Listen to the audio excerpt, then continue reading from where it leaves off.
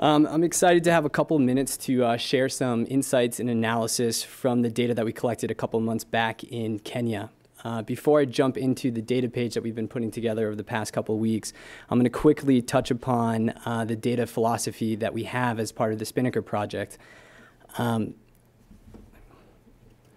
in many ways, uh, the concept behind Spinnaker is similar to the concept behind uh, the original Sears catalog. The original Sears catalog was meant to showcase and share information on the latest and most cutting edge uh, household products. Spinnaker is more is focused not on household products but financial products, and specifically uh, saving products that are available and targeting the poor. Um, and one of, as many as Billy Jack was mentioning, one of the uh, contexts and landscapes that we were really interested in pursuing and capturing was uh, Kenya. So without further ado, I'm going to jump into um, the data page. That looks like, ah, great. Um, and so we collected data on over 100 different saving products across Kenya. And one of the things that we were immediately struck by was the wide range of different financial institutions that were engaged in this space.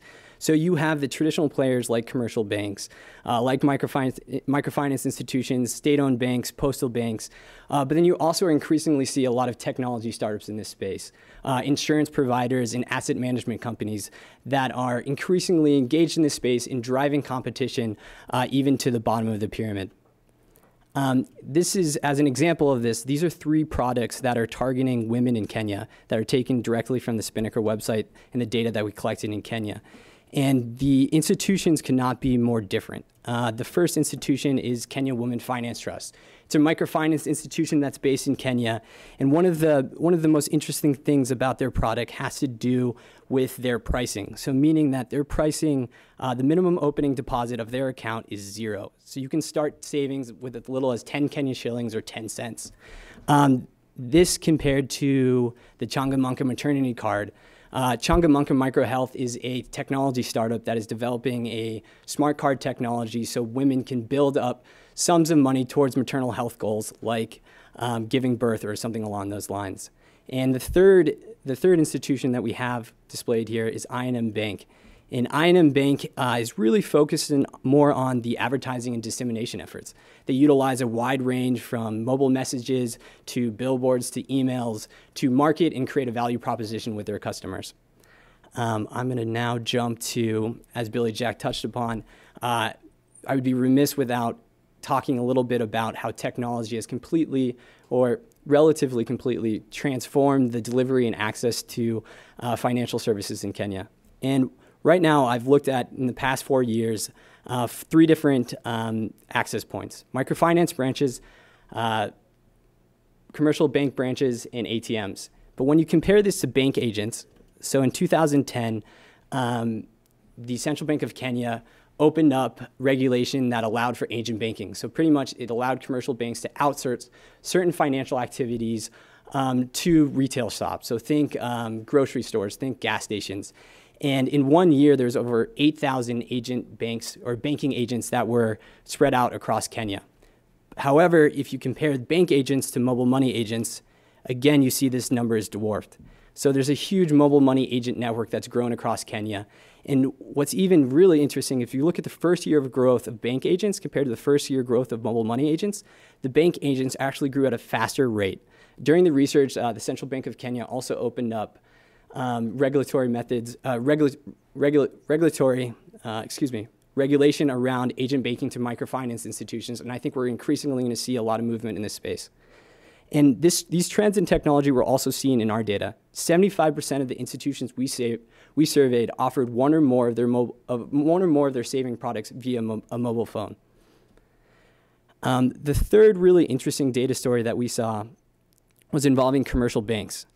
Um, I'm gonna, this is a flow chart that tracks uh, each one of these circles represent a different commercial bank in Kenya and the, the size of the dot corresponds to the volume of deposits. So as the volume of deposits grow, the dot of each of these banks will grow. Um, and as you can see, there's a handful of different players that are really successful in uh, mobilizing volume of deposits. Uh, Kenya Commercial Bank is a, is a pioneer in this space, Equity Bank, um, and also Cooperative Bank of Kenya. Um, I think even more interesting is when you take a look at um, the number of deposit accounts. So these are the same commercial banks, in the, in, except for this time, the dot corresponds to the number of deposit accounts at each one of these institutions. And what you see is one institution, Equity Bank, really pioneering and having being successful in this space.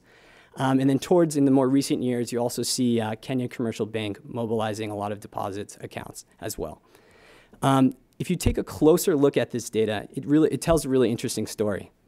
And um, in the past, since 2006, Equity Bank has has um, created over 4.4 new deposit accounts. 97% of these have a volume of deposits below 100,000 Kenya shillings, the equivalent of 1,000 US dollars.